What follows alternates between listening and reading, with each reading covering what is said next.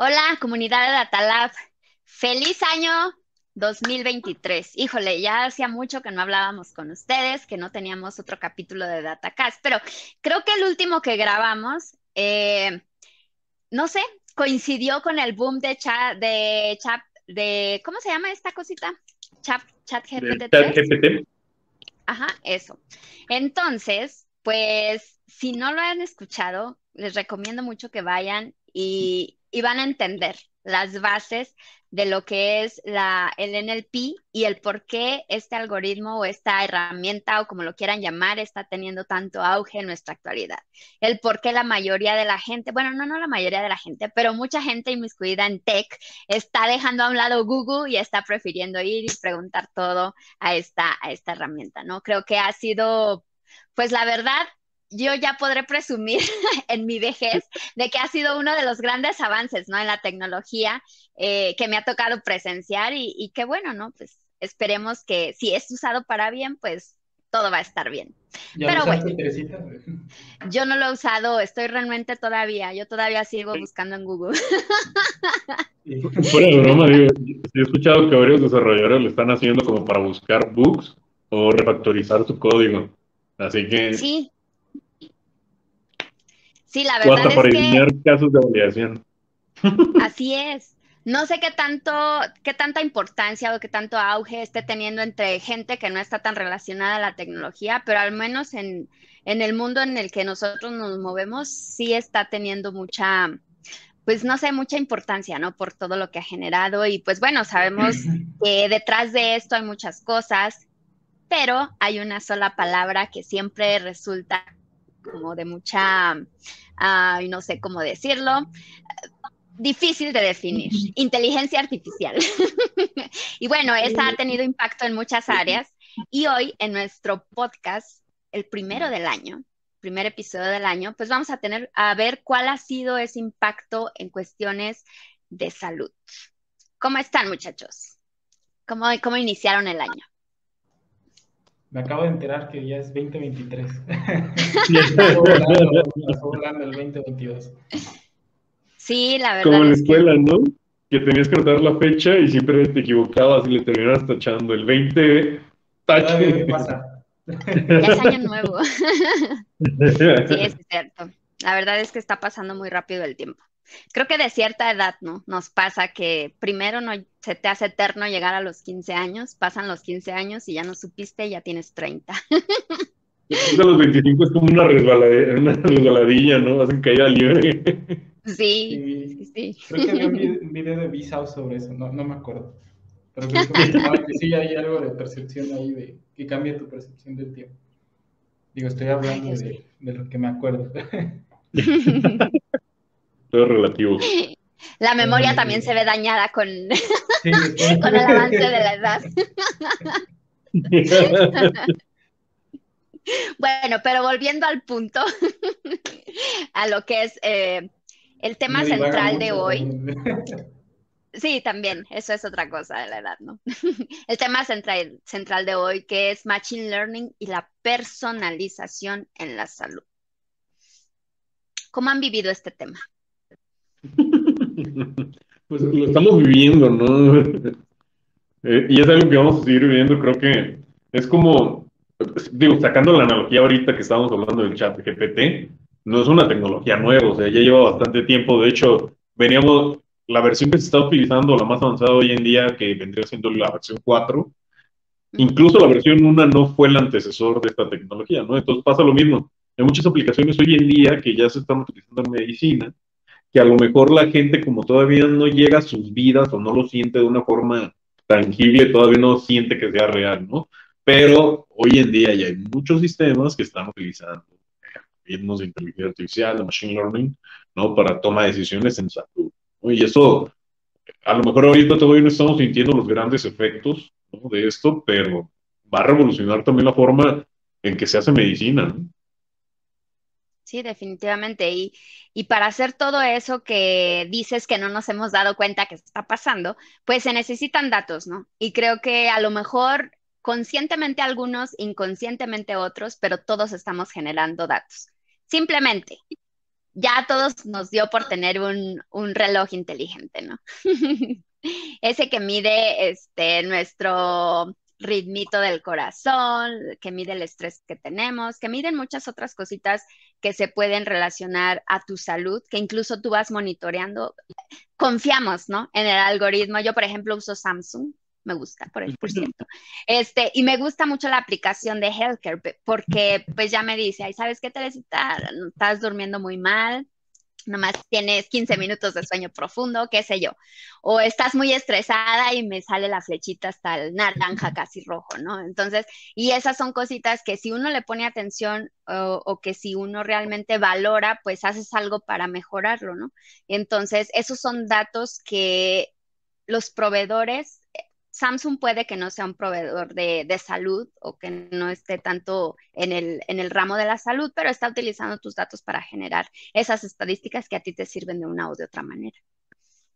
Oye, pero ¿no, te causa mucha ansiedad usarlo mientras duermes?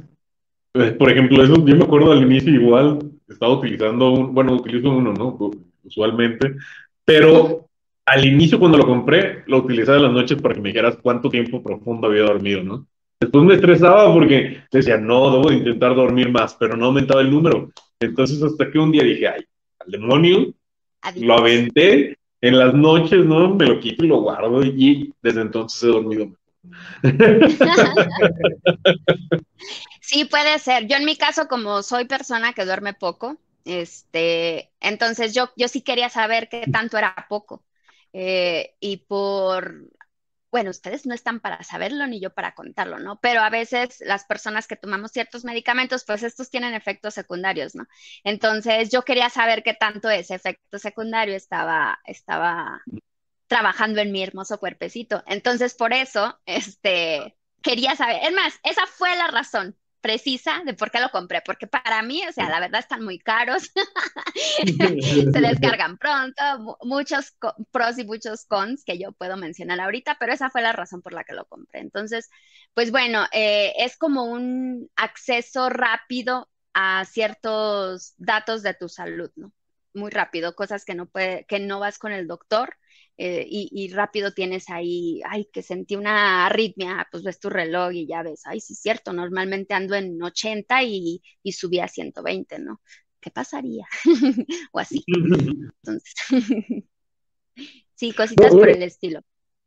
Fíjate, esa parte, ¿no? La recolección de datos, este, como tú dices, ¿qué tanto los dejamos entrar a nuestras vidas? ¿no? Este, y digo, obviamente los relojes inteligentes creo que han sido las primeras, eh, las máquinas donde lleguemos a hacer ejercicio, ¿no? Podrían ser como las segundas, ¿no? ¿Y qué tipo de wearables han llegado ustedes a escuchar?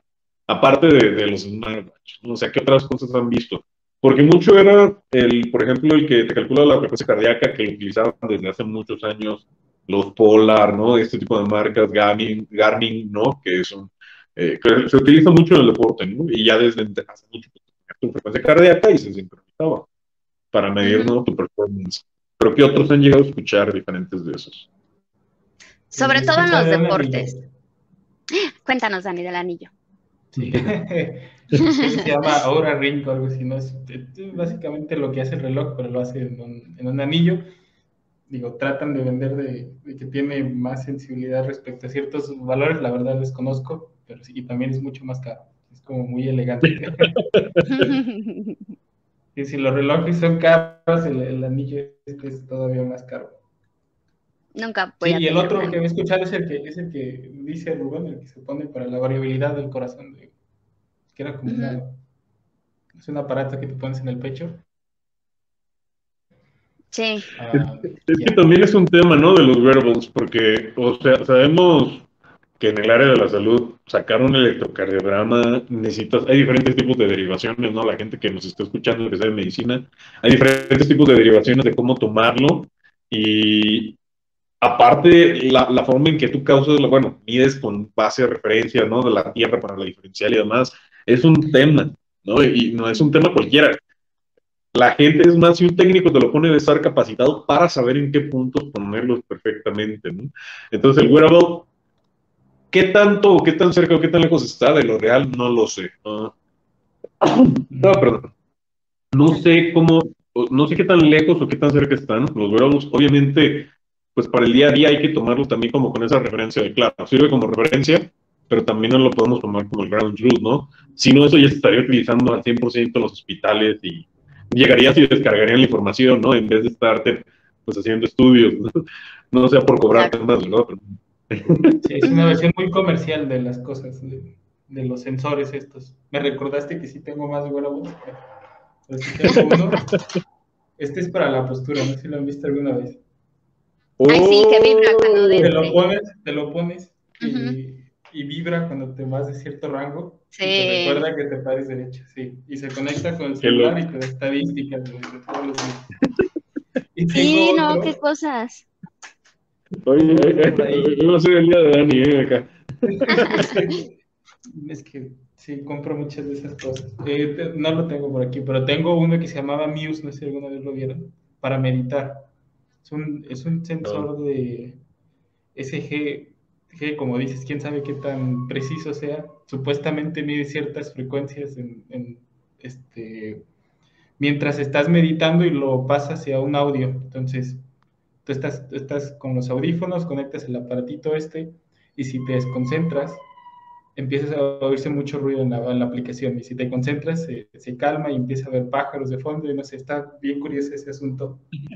Este, la versión que tengo es una muy viejita ya y no sé dónde está, pero bueno. Ahí eh, digo, hablando eh, no, Te digo, como dices, sí, no sé qué tan bueno sea. O sea, yo he visto cuando hacen ese tipo de mediciones en el hospital, es toda una malla de, sensores que ponen. Este de aquí es una lambrita así como de alrededor. Tiene tres sensores en la frente y dos en, en los oídos. Y no sé, ahí tú sabes. Digo, no, no, pero para, por ejemplo, para el electrocardiograma, muchos dicen, ah, es la señal más fácil de sacar después de un electromiograma. Pues fácil en comparación a qué, ¿no? O sea, yo todas, todas las capturas de señales yo siempre las digo complejas, pero ahorita de la que estaba hablando Daniel, del, del electroencefalograma particularmente, este, sí es un tema. Y, y el ruido ahí, o sea, tener un buen hardware es un problema. De hecho, hay un capítulo que tenemos donde hablábamos del hardware que estaban utilizando con Neuralink, ¿no?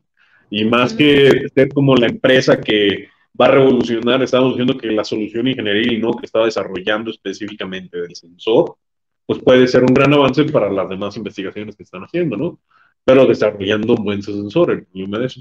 Este, y hay muchos, hay muchos estudios, ¿no? Que las ondas alfa, las beta, que cuando estás en sueño profundo, no lo sé, tiene mucho que ver con, con el tipo de derivación y demás. Este, pero bueno, el problema de estos sensores cuando quieres calcular estas señales es de que a veces dice, no, estoy concentrado. De hecho, hay unos juegos, ¿no? Que te pones y dices, no, sí, estoy concentrado, pero empiezan a mover así como que la frente forzándolo, ¿no? Entonces, tiene, estás viendo en realidad la señal que forman tus ojos al estarse moviendo, porque aquí tenemos seis eh, músculos detrás del ojo que en realidad lo mueven así, ¿no? Entonces, cuando tú volteas hacia arriba, en realidad los de abajo jalan, perdón, eh, los de arriba jalan y los de abajo se relajan. Y cuando vas hacia abajo, pues a la inversa, ¿no? Entonces, es un hexágono que está atrás del ojo que se está moviendo. Pues obviamente esa señal al estar más cerca de los electrodos va a ser más fuerte que lo que en realidad estás pensando en tu cerebro. Entonces, en teoría cuando te pones eso, no deberías estar haciendo ni esto, nada, ni andar moviendo los ojos, así. Debe estar quieto, así. Independientemente de cómo funcione, yo creo que mi resultado sería todo un baile, porque vaya que me desconcentro. Pero bueno, otros wearables, eh, yo creo que la industria deportiva ha invertido muchísimo en esto, ¿no? Sobre todo por cuidar la salud física de, su, de sus jugadores. Digo, ya sabemos que hay sensores hasta en el balón, ¿no? Que fue, digo, eso no es para salud, pero nomás para que veamos el grado donde llega. Ajá, sí, sí, sí. Este, no sé si han visto de cuando meten un gol y se quitan la playera y que traen como un tipo las mujeres decimos corpiño, este, que, trae también sensores, trae también sensores y que miden muchísimas cositas, este, eh, sobre todo de su rendimiento físico, ¿no? Cuánto corrió, este, cuántas calorías quemó, eh, ese tipo de cosas. Ellos no están permitidos traer reloj, pues por eso traen traen esas cosas que básicamente, no sé si miden algo más que un, que un reloj, o sea, algo extra, pero pues eso le da información. Imagínense, digo, ya que estamos aquí en la recolección de datos, esos sensores pueden servir tanto para el, tema de la salud, o sea, en, ese sentido, pero yo creo definitivamente que en el siguiente mundial la inteligencia artificial va a tener muchísimo, muchísima importancia, porque ya en este, no sé si se acuerdan que alguien tiraba un penalti y ya tenían una proyección de más o menos a dónde, a qué lado de la portería lo iba a tirar, ¿no? Porque ya hay estadísticas de eso. Entonces, ya con todo esto, pues yo creo que ya el siguiente mundial va a estar muy, muy bien en cuanto a tecnología. Pero bueno, dejemos el no, es que es, un tema, ¿no? Porque inclusive, bueno, esto se ha llegado a manejar mucho en la NPL, que qué comunicación pueden llegar a tener como el coach, ¿no? Específicamente con sus allegados, que de hecho también la selección de España lo probó, que en el mismo este chalequito que tú mencionas, este, que traían, traían, traían como una, una bocina para que el DT pues está fuera de la cancha y si los otros están ahí jugando, o sea, les pudiera dar instrucciones y lo escucharan, ¿no? Sin tener que correr o gritar todo el rato. Entonces él puede decir a quién quería hablarle en específico, ¿no? Entonces podía estar desde el otro lado y le daba instrucción de lo que hizo. Entonces es un tema porque también hay unos wearables que al final del día lo que escuchamos son ondas mecánicas, ¿no? O sea, el, el, oído es un sistema hermoso, ¿no? Que transforma estas ondas mecánicas y el cerebro es el que lo interpreta como sonido a partir de las vibraciones.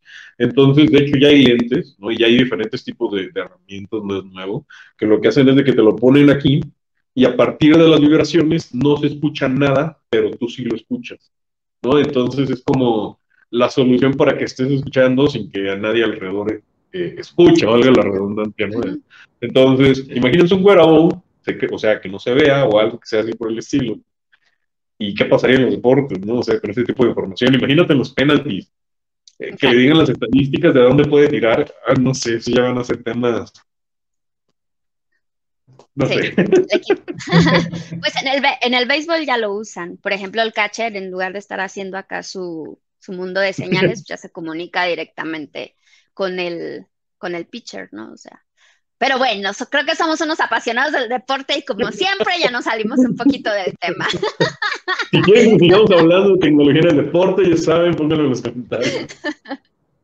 Así es. Volviendo acá. Bueno, la recolección de los datos. Creo que ya vimos esto, pero ¿qué tan privado será, no? ¿Qué tanta información privada, confidencial, le damos a la gente? Ajá. no, y digo, entendemos cómo es el nivel ahorita de los wearables, ¿no? Que obviamente van a seguir evolucionando y van a seguir avanzando y claro que van a estar mejorando, ¿no? Y, tiene mucho que ver el hardware, el software y demás. Y los algoritmos matemáticos que están ahí calculando y filtrando, ¿no? A la vez. Pero esta parte, lo que tú acabas de decir, ¿no? El historial médico. Es que e, es, es una parte crucial en la hora de tomar decisiones de los mismos médicos, incluso para poder hacer un diagnóstico correcto, ¿no? Que es, uno de los grandes problemas de la medicina, porque imagínense, tú llevas, no sé, vamos a poner como el contexto. Este, un médico que te ha visto desde los 10 años, ¿no? Entonces él sabe toda tu historial clínico, él sabe todo lo que le ha pasado a tus familiares, si ha habido casos de cánceres o no. Entonces, eso quieran o no, pues sabe si el paciente llega a tener predisposición o no. Entonces, el hecho, un médico, un buen médico, lo primero que debe hacer es hacer un historial clínico, ¿no? Porque tú vas a decir, oye, sientes tus síntomas, pero qué ha pasado en tu familia, ¿no? Para tener como un, contexto de lo que te puede llegar a estar pasando a ti, porque pues es mucho lo hereditario, ¿no? A menos que haya sido un accidente, un golpe, etcétera. Entonces, eso se toma mucho en consideración, ¿no? A la hora de estar haciendo esos tutoriales. El problema es de que si llevas con tu médico desde los 10 y ya tienes 30 años, y de repente sales de viaje y te atiende alguien en otra parte del mundo, y tú estás inconsciente, ni siquiera sabe si eres alérgico a algún medicamento. Entonces, esto no es nuevo y la tecnología ya existe. El problema ha sido ese, la privacidad de los datos. Porque dicen, vas a traer como todo tu historial como para que alguien lo pueda escanear así de la nada. O, no sé, el, IMSS o los hospitales privados deberían de tener así como tu historial en la, en la nube y tú darle acceso a los médicos para que lo puedan checar todo. No sé quién deba tener todo ese poder. Es un problema grande, porque incluso pasa estando aquí dentro del país, ¿no? Pasa que a lo mejor tienes tu médico general de cabecera, que creo que, para ser sinceros, al menos aquí en México no es una práctica que tan común, pero bueno, te enfermas de la panza, vas con el gastrointestinólogo, te enfermas de la cabeza, vas con el neurólogo, te enfermas del oído, con el otro y etcétera, ¿no? Y entonces a cada doctor le tienes que estar diciendo, oiga, es que también estoy tomando cierto medicamento porque estoy también enfermo de esto. O, este, entonces el neurólogo se entera de que también estás enfermo del estómago y que, y que también estás tomando X medicamento, ¿no? Y también se tiene que enterar de tus alergias, ¿no? O sea, cada vez que visitas un doctor es, es como darle un resumen breve de tu historial personal. Porque como dices tú, una cosa es lo que todas tus enfermedades y otra cosa es todo lo que ha pasado en tu familia, ¿no? ¿Qué tal que si en tu familia hay tendencia a la diabetes, sabemos que esa sí es hereditaria y pues el, no sé, puede ser que haya un dolor de cabeza muy intenso porque ya estás iniciando con la diabetes, ¿no? Y el doctor no tiene conocimiento de que eres propenso a tener diabetes, ¿no? Entonces, sí, eh, yo creo que es un sistema de digo, la tecnología, como bien lo dices, ahí está. La nube ahí está. Este, los desarrolladores que puedan hacer eso, ahí están. El problema es definitivamente la privacidad. Y creo que esta privacidad pues varía mucho de, de país en país conforme a las regulaciones de, de privacidad de datos personales. Entonces, desconozco yo si en algún país tienen un control muy robusto de datos de salud, probablemente en Estados Unidos. Digo, ahí tienen todo, entonces a lo mejor también ahí tienen un control más o menos digno de, del historial médico de, los pacientes. La verdad no sé, pero es todo un tema. Es que, exacto, es, todo un tema porque incluso es hasta un tema económico, ¿no? Muchas veces, a quien le hayan hecho alguna vez estudios, dependiendo del tipo de estudios, si estás internado o no, se ponen bien complejo a veces para que te den copia de todos tus estudios. Y tú, oye, por derecho, si lo estoy pagando, tengo derecho a todos mis estudios. Y eso es más que nada porque quieren que sigas como con el mismo médico en el mismo hospital y que todos tus estudios te los hagas ahí. Entonces, es, es un tema también porque supone que nosotros deberíamos de ser dueños de toda esa información. Y otra, por ejemplo, es si tú tienes control de ellos como una tarjeta, ¿no? Donde a quién le vas a dar acceso, pues si te hackean, te los roban, qué daño te pueden hacer sabiendo toda esa información, ¿no? Hoy en día que sabemos que es un tema importante y hay personas que no, o sea, si llegan a tener enfermedades, no necesariamente tienen que expresar si tienen alguna enfermedad crónica. Obviamente hay unas enfermedades en específico que, y para trabajos en específico donde hay riesgo alto, ¿no? De accidentes, deben de saber si hay alguna enfermedad, ¿no? De, una epilepsia, que pudiera causar algún daño muy grande, etcétera, dependiendo mucho del contexto. Pero a lo que voy en general en la gran mayoría de los casos no tienes por qué especificar absolutamente nada para evitar algún tipo de discriminación. ¿no? Entonces, el riesgo también de perder esa brecha de datos es, es importante, ¿no? De que nadie te pueda llegar a robar esos datos. Sí, la verdad. Desde el lado, desde el lado bonito, sí, ayudaría bastante. Pudiera estar en China y aunque no te entiendan, tienen acceso a tu historial médico y van a saber si eres alérgico o no a la penicilina. Así de plano, saber qué medicamentos sí te hacen cuáles, ¿no? ¿Qué estudios más? Si te sacan una tomografía, podrían compararla con la que te sacaron hace un año, no lo sé, etcétera. O sea, ese tipo de comparaciones están geniales. Pero, pero el problema de la privacidad es muy grande. Y es que digo, imagínense tener acceso a todos esos datos, lo que permitiría el modelado desde el área de Machine Learning para empezar a predecir patrones. O sea, sería una base de datos hermosa, sí, lo sé sería muy bonito.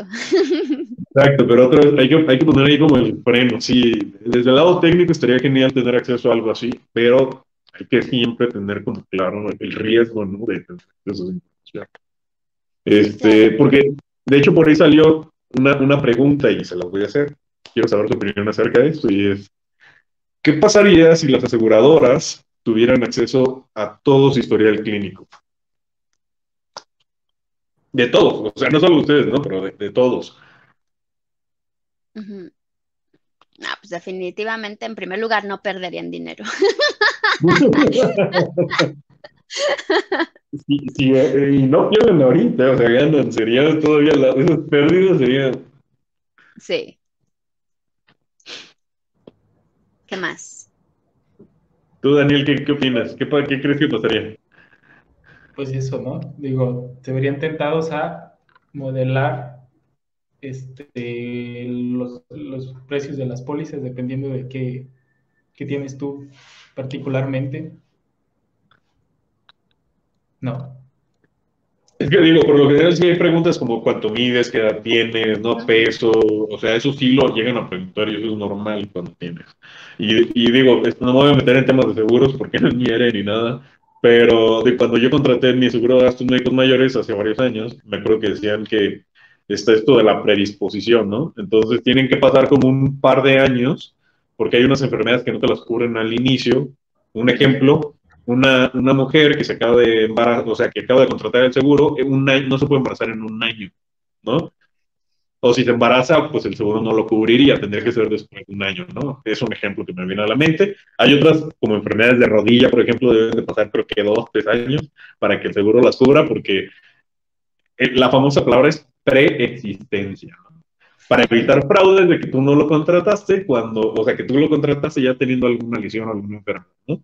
Entonces, es todo un tema todo eso. Si llegan a tener el historial clínico, sabrían exactamente, no solamente qué tiene, sino qué puede llegar a tener. Y como decía Daniel, ay, lo siento, pues tu póliza, pues iban a ser, no sé, 10 mil pesos, ahora pues van a ser 50, ¿no?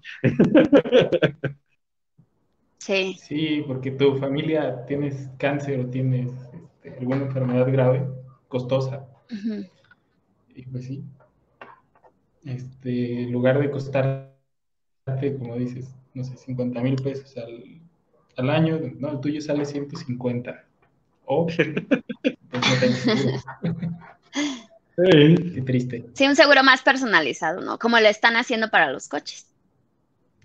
Ajá. ni idea, ni idea. Digo, bien llevado todo muy bonito, pero no sé, en, la salud, eh, ¿qué tanto se prestaría discriminación eso? Uy, un buen. Porque habría una segregación, literalmente, ¿no? Por el tipo de, o sea, solamente porque tus padres han tenido algún tipo de enfermedad, pues tú ya no tendrías acceso a varias cosas. y al final la idea, de seguros es de que entre todos pagamos la enfermedad de los que se llegan a enfermar, ¿no? Esa es la idea. No, dice, pues lo tengo, pero ojalá nunca lo tenga que usar. ¿no? Sí. Aparte, este, digo, como bien decías hace rato una palabra que me encantó, nosotros desde el punto de vista técnico estamos como que formulando nuestro mundo ideal, ¿no? Pero también, ya si lo ponemos del lado, del lado social o económico, pues la tecnología no siempre llega a todas las áreas de todos los rincones de nuestro México lindo y querido, en este caso, nuestro país. Entonces, pues sí habría mucha información porque la zona urbana a lo mejor es mayor, pero pues también habría eh, también zonas donde no se tenga tanto acceso a esto, a esta información. Y también eso me lleva al siguiente punto. Recuerdo que tú estabas hablando de un proyecto de ADN que habías comentado el otro día que creo que hace un buen match ahorita. Sí, yo recuerdo este, haber leído y que también comenté con unos amigos, pero de hace como unos 2016, ¿cuánto es? Cuatro, seis, siete años, seis años. No, o sea, que la este, de que la pandemia no pasaron años. ¿Dónde está el celular? Quiten los años de la pandemia. Que estábamos hablando de una empresa bien, que, cuyo producto era muy prometedor, ¿no? O sea, te decían, en base a una gota de sangre que tú me dones, yo voy a descifrar todo tu historial patológico, todas las posibles enfermedades que vas a desarrollar en base a tu árbol genealógico, ¿no? Y pues sonaba bien chido. Yo la verdad a lo mejor si hubiera ido y tengan mi gotita de sangre y díganme si voy a estar enferma de aquí a 10 años y de qué pero eh, al parecer fue un fraude. Digo, si nos vamos también atrás al 2016, todo lo que tenemos ahorita en cuestión de inteligencia artificial, de tecnologías incluso, en más, en 2016, que yo recuerde, la nube todavía no era así como que un must. En, en muchas compañías, ¿no? Y, y menciono la nube porque pues es el, es el banco central de datos. es donde todo el mundo está poniendo los datos. Entonces, si no había, pues entonces no había suficiente información. Desconozco los procesos técnicos de esta empresa, pero su producto pues sonaba muy prometedor. Total que consiguieron mucho funding, muchos inversionistas y al final fue un fraude. La verdad, hace rato que estábamos haciendo el script de este podcast, les mencioné ese ejemplo y busqué y busqué y busqué y no encontré la compañía, pero créanmelo, no me lo estoy inventando. Esto sucedió. Estás hablando de... Ajá. Sí, dijo, dijiste una gota, ¿no? Y eso suena a teranos. Ah, no, dije una gota por decir eh, ah, pero eso, o sea, o sea era otro, fraude veteranos, ¿no? Ándale, y luego así es como se hacen los chismes, ¿no? No, o sea, pues, te, te, quitaban algo de sangre y ya en base a eso, pues hacían los estudios propios, ¿no? Para hacerlo. Total que no lo hicieron. Que, que, también ese es otro tema, ¿no? Digo, independientemente, sabemos que sí es algo posible, ¿no? O sea, de hecho ya hay otras empresas que ya te pueden sacar un perfilamiento, ¿no? De acuerdo a tu ADN y obviamente saber o sacar toda tu secuencia de ADN, hay un costo muy grande, ¿no? Y a lo mejor no necesariamente de la sangre, puede ser desde la saliva. Hay unas, por ejemplo, que manejan algunas cosas más económicas, pero más que nada empiezan a analizar algunos genes en específico que están relacionados con tu tolerancia a algunos alimentos. Entonces pueden saber si eres intolerante a la lactosa, bueno, hay un gen por ahí, ¿no? Que se tiene que expresar, ¿no? Pero bueno, ya no buscan no hacen toda la secuenciación de tu ADN, sino nada más buscan esos pequeños genes. Por eso llega a ser más barato y lo empiezan a comercializar hoy en día. Ya te dicen, ay, mira, ahora entiendo por qué cada vez que comía un platillo me caía mal, ¿no? Por el estilo. Entonces, esa parte está interesante. Ya hablando en la tecnología completa, pues imagínense que les dijeran, pues vas a tener tanto porcentaje de tener cáncer, tanto porcentaje de tener enfermedad, diabetes, ¿no? Por un lado, saberlo, pues te ayudaría a prevenirlo, ¿no? Este, pero también qué fuerte, ¿no? Saberlo. Pues este, es como dicen, ¿no? A veces ni sabes que estás enfermo y andas bien, tu ánimo está bien, pero te enteras de que tienes cierta enfermedad cuyos síntomas no son eh, totalmente visibles o, sensibles, tú no los sientes. Y, y te das cuenta que la tienes y ya te vas para abajo y de un día para otro ya estás tan más viejito. o sea, ha, habido casos así, ¿no? A Chris Hemsworth, creo, el que hizo a Thor, algo así. este, se hizo un análisis y le salió predisposición a Alzheimer, de, de la memoria, me parece, y pues creo que anunció que se iba a retirar por ese diagnóstico y demás pero hablamos de que se hizo un análisis de este estilo, ¿no? Vieron que tiene un gene. Oye, pero eh, esa historia, no sé, digo, sí me acuerdo haberla leído, pero yo no, o sea, no sabía si es real o es fake. Yo tampoco, pero meterse a investigar qué es real y qué no en estos días. Chris Hemsworth, si nos estás viendo, escríbenos y dinos si esto fue verdad o no. Invitamos al, post, al podcast, ¿eh? Que nos cuente su experiencia. No, sí, es que digo, sí, es una noticia muy fuerte, claro. No, me acuerdo, yo dije, esas suenan como de las que pudieran ser hechas en 4 ¿no? 4 no, es así. Sí, sí, sí. Pero, por ejemplo, en el caso específico del cáncer de mama, o sea, ¿cuántas veces se da uno cuenta que lo tiene pero te di, hasta el doctor todavía no sé si es cinismo o, o, por hacerte sentir poquito mal. Ay, si hubiera venido dos meses antes, el diagnóstico hubiera sido un poco diferente o el tratamiento hubiera sido diferente. ¿no?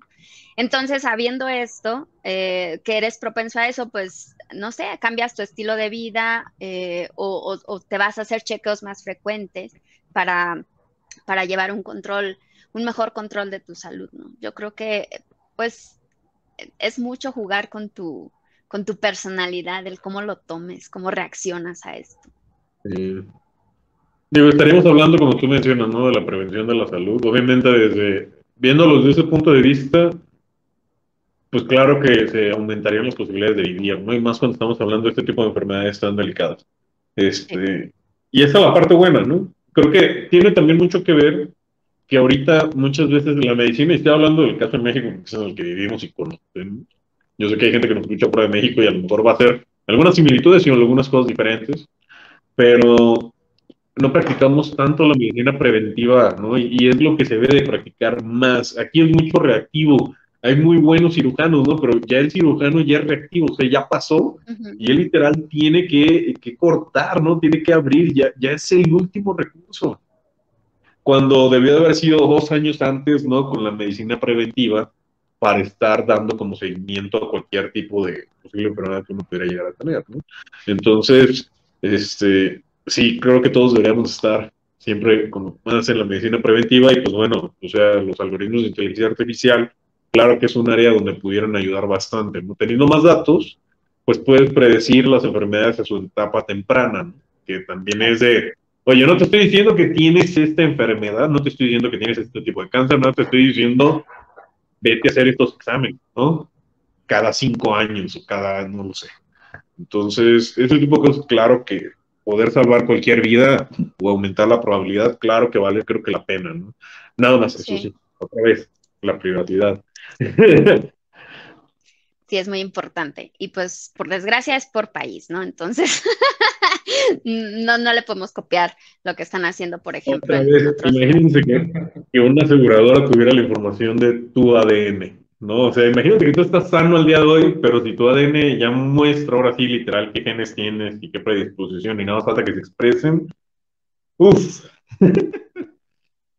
Sí, no sé, digo, las aseguradoras obviamente como tú dices, ¿no, Teresita? Es lo que ellos quieren, no tendrían pérdidas, ¿no? Se están saboreando los datos pero hay que estar también del lado del sentido común, ¿no? De la sociedad, que es lo que se requiere. No somos números, ¿no? Aunque nos modelemos a veces como números, somos personas, entonces... sí, sí es algo. Para bueno, pero... Y sí, después de hablar de, de todo esto, eh, el sadness de la privacidad de datos, pues pasemos a cosas más divertidas, ¿no? Más alentadoras al menos. Eh, creo que hay muchas empresas ya trabajando en, proyectos para la salud, ¿no? Preventivos, de identificación, de hacer match con tu médico. ¿Cuáles conocen ustedes?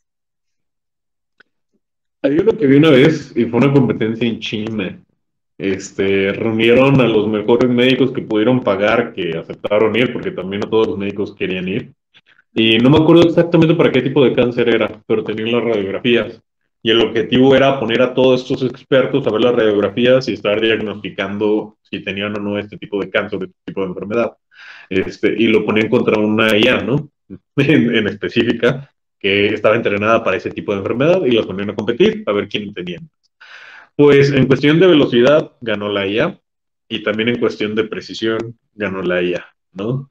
le terminó ganando a los humanos. Entonces, el problema de aquí esto es, para que estas personas lleguen a ese nivel, necesitan toda una vida de experiencia. Este, y las IAs, pues en realidad lo que están haciendo es aprender de lo que el trabajo que han hecho todos ellos todos esos años, ¿no? No más extrapolarlo. Esto va a cambiar en definitiva la forma en que se hace la medicina. Yo no creo que los médicos vayan a desaparecer. O sea, eso yo no lo creo para nada. Lo que yo sí creo más bien es de que van a cambiar la forma en que hacen medicina. Pues en Prometeo, en la película, se desaparecieron, Rubén. Vamos a ver qué película de ciencia ficción gana, ¿no? Gana, ¿no? Sí, la verdad El día que no haya luz, todos se mueren. Y sí, ¿no? Sí, es una Un pulso electromagnético y todos se van a morir, ¿no? Por una simple gripe. Punto para los doctores. Ellos no necesitan luz. Ser enchufados, más bien. Sin albur. Este. Sí, y la verdad es que no es trivial. Ahorita que decías esto del cáncer, yo me acuerdo que también a lo mejor algunos de, las personas que nos están escuchando saben que uno de los, de los tutoriales para, para aprender Machine Learning o tener el sentido de lo que realmente hace Machine Learning es hacer un, proyecto con varias imágenes y varios lunares en la piel, ¿no? Para saber si, la, si una persona tiene o no cáncer de piel. Entonces, es bien complejo porque un lunar luce muy diferente en una persona blanca que en una persona de color. Entonces, nuestro algoritmo tiene que ser pues muy inteligente para, para no caer en ese bache y decir que como en un proyecto que me tocó estar en Alemania, que todas las personas de color tenían cáncer. no sé, el algoritmo simplemente dijo eso, porque el lunar definitivamente se veía diferente en ese tipo de pieles. Eh, entonces, pues no es trivial, o sea, no es cualquier algoritmito ni, ni, ni, que se entrena con un gigabyte de datos o un terabyte, o sea, se necesita muchísimo. Ahorita me llamó, me llamó la atención lo que decías, ¿no? De, de esa inteligencia artificial en China que concentró la experiencia de todos, o sea, ¿cuántos años de experiencia no van ahí de, cada uno de ellos? Aunque hicieran como, aunque coincidieran ¿no? los años de experiencia, pero la experiencia es diferente. Sí, imagínate el impacto de un falso negativo de, por ejemplo, de una vez, imagínate, lo pongo en una aplicación, escanea tus propios lunares, ¿no? Te sale una nuevo, lo escaneas y te sale negativo y dices, ah, no Y, si era, nada más, pues no, no lo detectó correctamente la, aplicación. Es un tema. ¿Qué digo? También un médico lo puede pasar, ¿no? Si no te atiende bien y no sabe todo tu historial clínico. Porque es que también, eh, recuerden esta parte, el historial clínico es el que da fundamento y contexto a una detección. Y no estoy hablando solamente de lo de los familiares, sino el propio, ¿no? De todos los años. Lunares que no tenías y que de repente ya tienes, ¿no? Esos son los que pudieron entonces, no es nada más como decirle al modelo, hey, ve esta imagen y dime qué es, ¿no? Y capaz que era la imagen de un dibujo hecho en casa, ¿no? O sea, el contexto lo cambia absolutamente todo, como lo hemos dicho tantas veces aquí en la comunidad. Entonces, también el contexto histórico del paciente es el que permitiría a los algoritmos dar algo. Y creo que ahí es donde también los médicos van a tener que influir, ¿no? Claro, puedo correr el algoritmo para que me diga, ve estos puntos, pero yo con el médico, ¿no?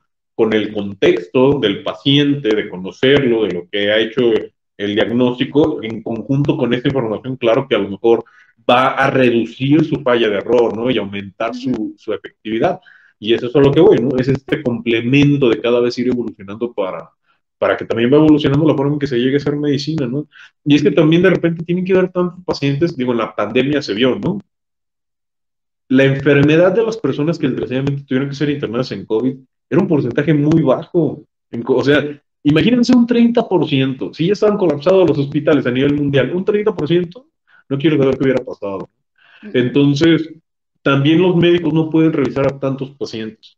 Si se llegan a combinar las dos cosas, ¿no? Obviamente que ellos, para que ellos puedan estar viendo más pacientes más rápido, pero que la parte tediosa, pesada, los hagan los algoritmos de inteligencia, ya le pasan todo un análisis al médico y él pueda tomar a partir de ahí la decisión, Creo que eso ayudaría también a resolver este problema de capacidad, de con menos médicos, pero bien especializados, puedan atender a mayores pacientes y más frescos, más descansados. Luego los pobres no han dormido en 72 horas y ahí tienen que estar viendo pacientes, ¿no? O sea, también, o sea, con qué poder cognitivo en ese momento, con qué razonamiento una persona puede estar. Sí.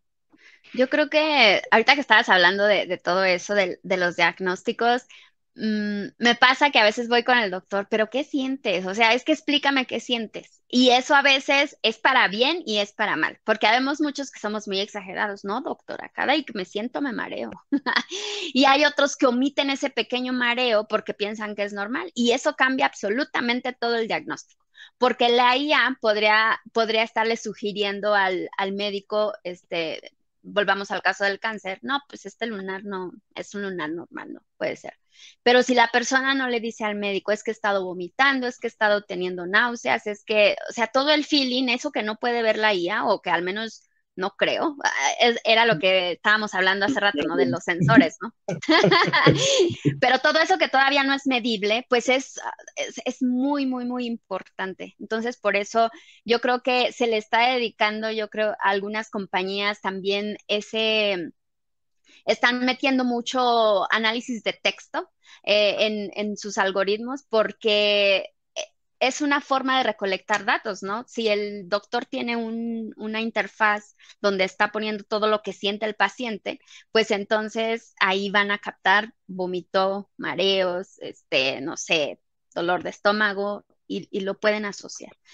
Ay, qué emocionante es esto pero esos detalles son, son, son muy padres, ¿no? O sea, llegar hasta ese punto de, análisis. E, está bastante bien. Y el futuro es muy prometedor. Es muy prometedor, sí, sí, sí. Eh, y para ello, yo me acuerdo cuando estaba estudiando sistemas, lo que me gustaba mucho era que, que te podías enterar tú de cómo funcionaba, por ejemplo, un consultorio dental. porque si te pedían que le hicieras un, un sistema para coordinar todo lo que pasaba ahí en el, en el consultorio dental, pues aprendías, ¿no? A, lo mejor aprendías poquito, pero aprendías que, que se les da ibuprofeno cuando te sacan una muela, o que, no sé, cositas así, ¿no? Entonces ya tú, que no tienes nada que ver con un eh, dentista, pues ya sabes ese tipo de cositas. Y en este caso, todos los técnicos, los que estamos como desarrollando, que estamos eh, pensando en contribuir con la inteligencia artificial, pues aprendemos un poquito de todo, ¿no? Porque cada ramo es mucho, muy diferente. En efecto. Y, es que también es la voz de la experiencia, ¿no? Nosotros lo vemos nada más desde fuera. Y me, me, me acordé ahorita que dijiste ese punto de lo que los médicos tienen que averiguar, ¿no? Creo que también la hacen mucho detective, porque tienen que saber qué tipo de persona eres y otra vez, la persona dónde tiene su umbral del dolor y si es una persona, como tú mencionabas, que exagera, o al contrario, ¿no? Que omite. Entonces él también, si ya sabe que exagera, eh, le va bajando, ¿no? Pero si es alguien que omite, tiene que estar como preguntando más y más y más, ¿no? Porque a ver cómo le saco la verdad, ¿no? Y ese es el arte también de los médicos. Este, que me ha tocado platicar con varios amistades este, familiares que de repente dicen, pues es que te dicen algo y tú, cuando, o sea, ay, no sé por qué traigo el azúcar alta, ¿no? Ya no, ya no he tomado Coca-Cola para nada. O nada más dicen que toman la de azúcar y ya con eso, ¿no? Creen que ya todo es felicidad. No, creo que no, ¿no? O sea, luego, luego ellos saben, los médicos saben cuando uno está mintiendo, los buenos, luego saben interpretar algunas señales que no son habladas. Entonces, sí, vamos a ver qué pasa en el futuro con todo esto, ¿no? y cómo evolucionan, como todas las áreas este, están siendo evolucionadas ahorita por las IAs. Este, y también hay que recordar, estos modelos más como el disclosure, son de propósito específico. Porque de repente dicen, la IA resolvió esto. A ver, espérense. Una, una, una IA de propósito específico, bajo estos parámetros de experimentación, le ganó a esto. ¿Ok? Entonces siempre dicen, no, es que la IA, la IA, no, no, no, una IA en específico porque son de propósito específico, todavía no son de propósito general. ¿no? Y creo que siempre hay que tenerlo así como que muy claro, muy claro. ¿no? Nada más para eso va a servir bien. Por eso siempre es importante que una persona sea quien la esté supervisando. Y más, es lo que yo siempre he dicho, si el resultado va a afectar a una persona, o sea, va a afectar vidas humanas, ya sea social, económicamente o de salud, claro que una persona física debe, que tenga experiencia en el área, debe analizar los resultados antes de la toma de decisión. A lo mejor en el futuro cambia, pero al menos al día de hoy tiene que ser así. Sí, es, que, es muy importante. Es de vida o muerte para una persona y pues la vida no es trivial, ¿no? Eso no es nada trivial. Por ejemplo, en la, si volvemos a algo que no es una IA, pero que, que desarrollaron muy rápido la vacuna contra el COVID, ¿no? Pero no lo investigaron en un año, o sea, ya había cosas anteriores. Eh, por eso llegaron, sí se dieron más prisa, obviamente, y sí hicieron a lo mejor menos experimentos de los que suelen hacer cuando se desarrolla un, producto, una medicina, pero ya había mucho research detrás, o sea, no es algo que, que se pusieron y en seis meses hicieron todo el research. Entonces, pasa similar acá, ¿no? O sea, tiene que ser todavía supervisado cuando de personas se trata. Ah, esos efectos colaterales, ¿verdad, Teresita? Esos efectos colaterales. sí, es que es todo un negocio, ¿no? O sea, hemos hablado del lado de nosotros como personas, de, en qué tanto nos beneficia a nosotros, que es mucho, mucho, crean que es mucho, pero también obviamente eh, genera beneficio en este caso para, para, las farmacéuticas, a lo mejor para los hospitales privados, qué sé yo. Incluso debería de beneficiar a los a los hospitales públicos. ¿Por qué? Porque teniendo bien eh, medido eh, pacientes, no sé, eh, que padecen presión alta, por decir algo, pues el IMSS, en este caso nuestro seguro social aquí en México, debería de prevenir el número de, de medicina que tienen en, su, en sus bodegas, ¿no? Para este tipo de personas, porque deberían de tener más o menos un número eh, de personas que tienen esta enfermedad y que tienen prescrito X medicamento. Entonces, les ayudaría a ellos a tener un mejor control y que no pase lo que siempre pasa, ¿no? Que no hay medicina en el seguro. En las farmacéuticas, por ejemplo, pues estudian eh, todo, todos los patrones eh, de enfermedades y, y, a lo mejor hacen un poquito más research en cómo reducir efectos secundarios, no sé, en, la, en el ácido acetilsalicílico, ¿no? En la aspirina puede ser.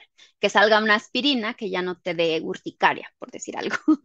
no sé, cositas así que de alguna manera benefician a otros porque obviamente si a mí ya no me genera urticaria la aspirina y me duele la cabeza, voy a ir a comprar y le voy a dar dinero. Pero que también soy beneficiaria yo porque ya tengo una opción más para mis dolores de cabeza, por decir algo. Entonces sí, son efectos colaterales. Los datos, los datos, es la clave. Los datos, sí, es, es, la clave.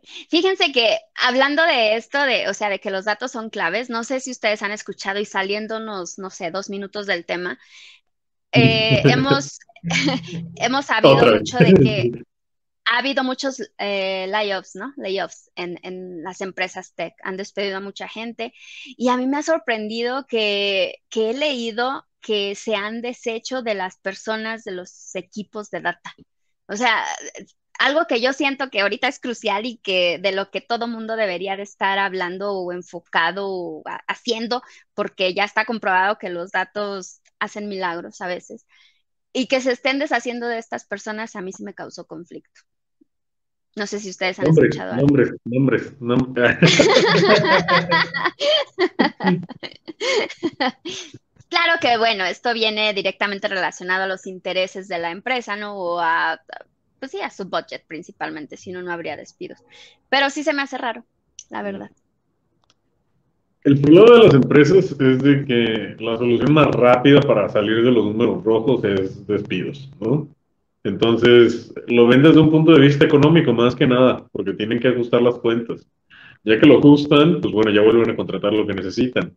Que también a lo mejor en el rush de querer contratar, contrataron muchos perfiles que no debieron de haber contratado, puede ser.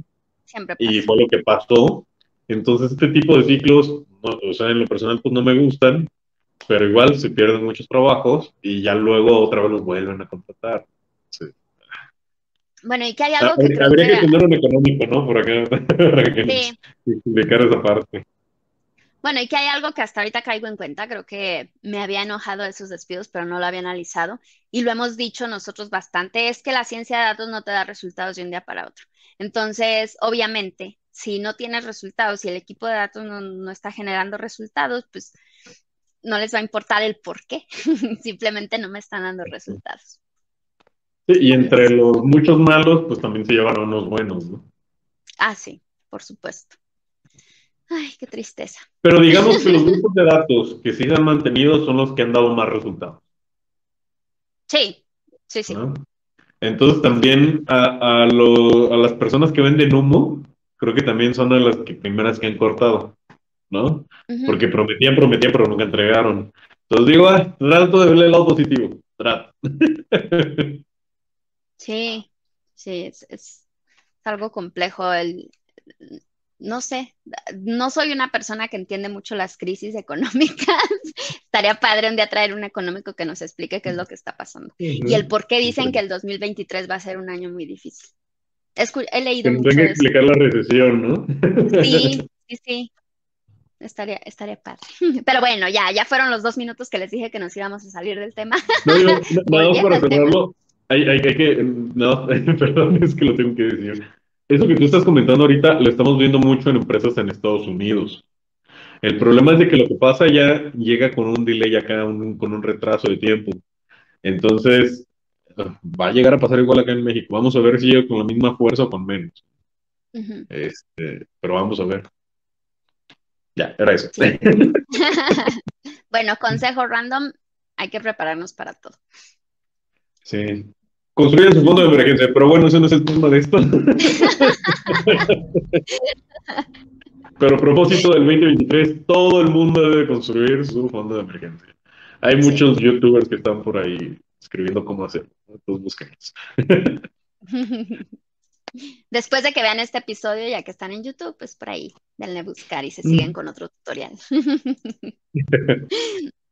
Pero bueno, este, no sé, eh, estuvimos hablando de la información, solo para recapitular, de lo, de, lo importante que es nuestra información personal, nuestro historial clínico, de las ventajas de, que exista, de las desventajas de que no exista, de la privacidad de datos, de lo que las empresas han estado haciendo eh, en pro a la salud, utilizando inteligencia artificial, machine learning eh, y computer vision. Yo creo que son las dos cosas Computer Vision, Machine Learning en general y análisis de texto, creo que es lo que yo más he escuchado que están utilizando para en, este campo de la salud específicamente.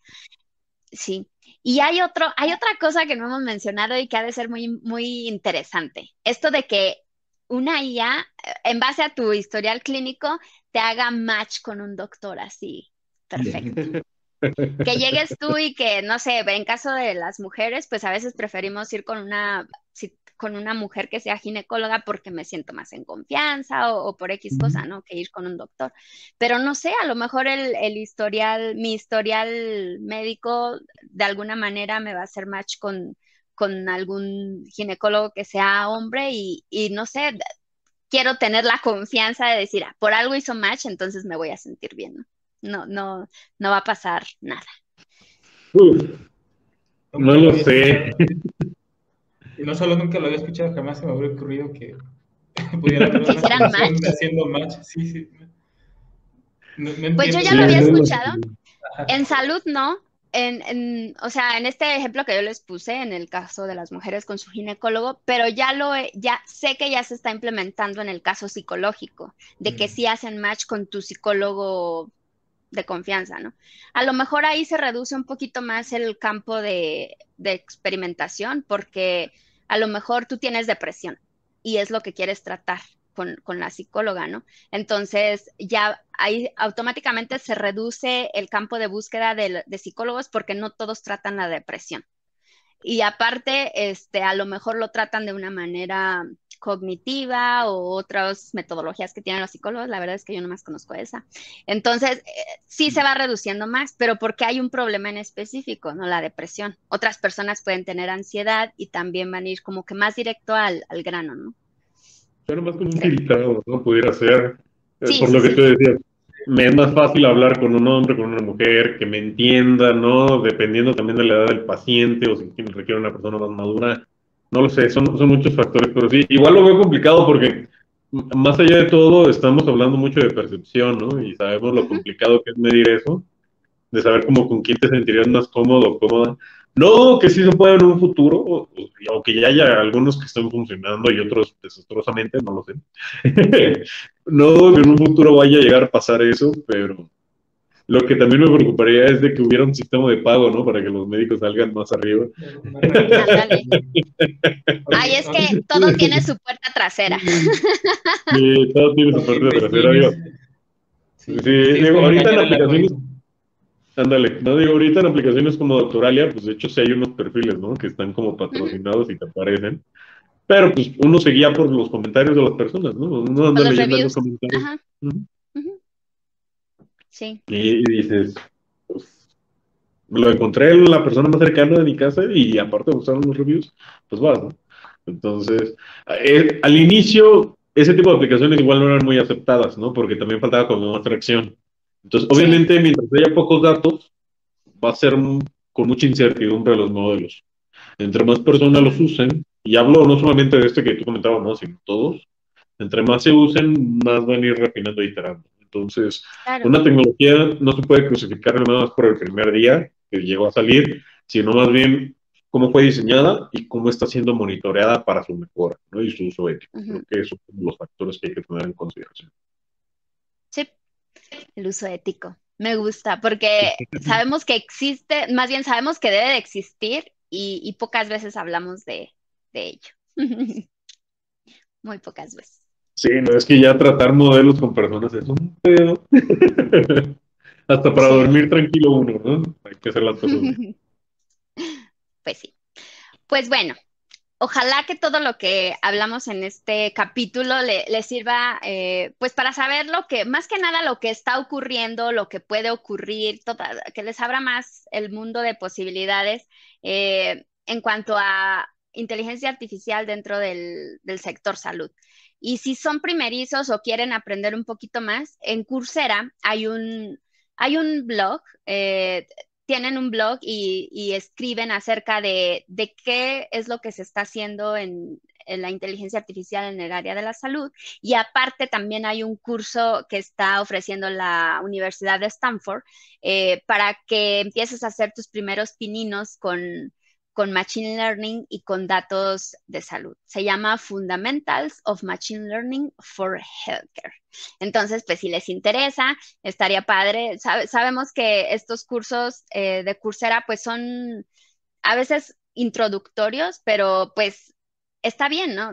Tiene que probar uno poquito para ver si nos gusta y si nos gusta, pues entonces ya después refinamos un poco más el conocimiento, ya eh, enfocándonos eh, un poco más en este caso al sector salud. No sé, muchachos, si quieran despedirse con algún consejo o, algo para nuestra audiencia.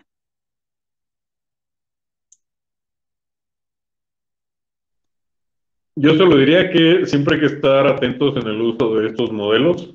La tecnología no es mala, sino el uso que se le llega a dar. Este, estar atentos de la prioridad de los datos, ¿no? De mandar buenas prácticas y obviamente pues también nuevas leyes para esto, aunque vaya atrasado. Este, y también no tenerle miedo al cambio. Creo que eh, eh, muchas veces se llega a tener este miedo de, es que me va a suplantar, me va a quitar mi trabajo. Yo, no, yo nunca he visto de esta forma el, tipo de desarrollo de modelos de inteligencia artificial. Más bien creo que las este, profesiones van evolucionando y la idea es hacerlo cada vez más efectivo y que la parte más trabajosa, más tediosa o más repetitiva sean hecha por estos tipos de sistemas. Entonces, yo espero que pues, lo abracen como una innovación y más bien que lo usen como un complemento, ¿no? Para cada vez ser mejores profesionistas. Y, y ese es el objetivo, Más que nada.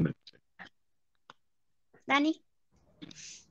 La verdad, no se me ocurre nada más de lo que dijo Rubén. sí, sí. Eh, fijarse aquí en la cooperativa es la información, sobre todo si es lo que estás haciendo todos los días y te va a estar tragando incluso cuando duermes. no sé, digo.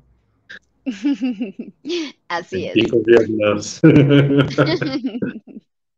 bueno, pues yo solo les digo que se preocupen un poquito más por ustedes, este, no dejemos, no seamos tan reactivos como dice Rubén.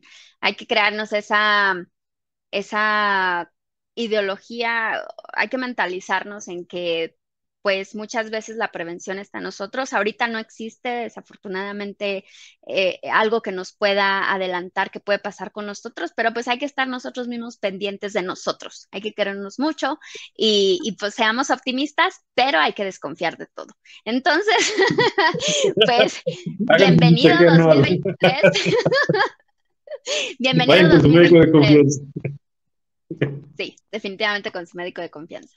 Y pues nuevos retos, nuevas cosas vienen para todos y siempre sigan escuchando DataCast.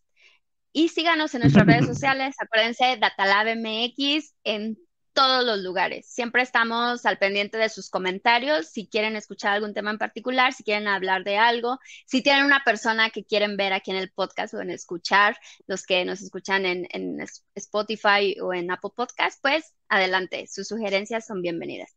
Muchísimas gracias y a empezar este año con todo. Saludos y nos vemos a la siguiente. Uh...